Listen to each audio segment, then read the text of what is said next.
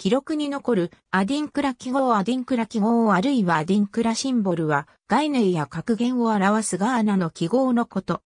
布地の模様やロゴ、陶器に広く使われ、建築の要素として壁などにも組み込むことがある。布地に木版やスクリーン印刷を使っていくつも組み合わせて並べると一種のサイン言語として機能した。この記号を生み出したアカン族は通貨の代わりに砂金を用いて交易を行い、量を測る真鍮製の重りゴールドウェイトにもアディンクラを刻んだ。あるいはショイスにも施し、家具として、また儀式用の道具として使った。観光客相手の T シャツやアクセサリーなど、お土産品に使う新しい用途が生まれた。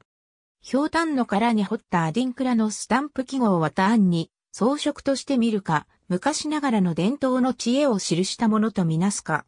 あるいは印象に残る刺激的なメッセージを読み解くか、生活や身の回りの自然を表した図案として楽しむか。まるで文化のカプセルのようにいくつもの役割を果たす。記号は、ことわざと強く結びついて、表意文字のように働くものが複数あり、意味はとても明確に伝わる。哲学者のクワメ・アンソニー・アピアによると、何を信じ、どう実践するか。複雑で微妙なニュアンスをうまく伝えた手段の一つであったという。差し1、模装用のアディンクラジャマン出身のボノ族は、現在のガーナのアカン族の祖先にあたる。アディンクラ・アディンクラという名前の由来は、記号の発明者とされる王族の七クワジオ・アジャマン、アディンクラの名前である。ボノ族の作る陶器や小椅子などを装飾し、ハンコ染めの布を着用したのは、ギアーマン王に限定されたのに、他の部族との戦いに敗れ、やがて勝った側のアシャンティなどアカン王国系民族に広がってゆく。布をデザインしたボノの職人たちは、アシャンティ人に技術を教えるほかなかった。記号を発明した王の長男アパオ王子は、アディンクラを使いこなしたため、布に染め付ける技術や、記号の並べ方を伝える役目を強いられたという。アパウ王子は、熊市に近い町で、クワクドワクという男を弟子に取り、アディンクラの布染めを手ほどきしたという交渉が残る。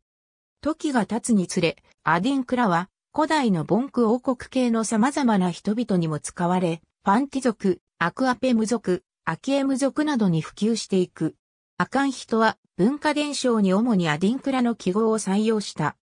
氷炭の殻に記号を掘り付けて、スタンプを作り、植物原料の染料を使ってハンコ染めにする。差し H の布に配置してある記号はおよそ15種類あり、正、どの族の太鼓2つ、ダイヤモンドなど、現在は大英博物館の収蔵品。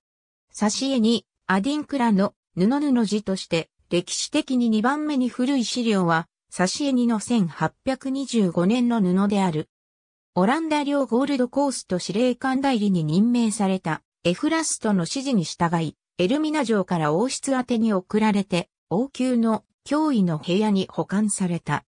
この布はエルミナ城代ファンティパラマウントがオランダ王子ウィリアム一世の命令として発注した特製品であるため、オランダ国章が中央に配してある。その他のモチーフは古いアディンクラの典型を示す。現在は、ライデン民族学博物館の収蔵品である。アカン語ではシンボルではなく布の方をアディンクラと呼ぶ。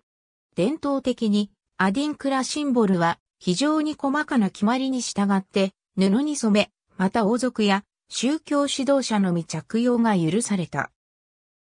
あるいはまた、布の色も着用する機械と着用者の役割に応じて決まり、木綿の手織りの生地は生成色か、赤色、暗褐色、または黒に染め、そこに記号手作業で脱線した。現代は明るい地色の生地を使い、大量生産が当たり前になった。櫛を使い、模様を区切る線を平行に引くアンソニー・ボアッチー。ガーナ、ウントンソ。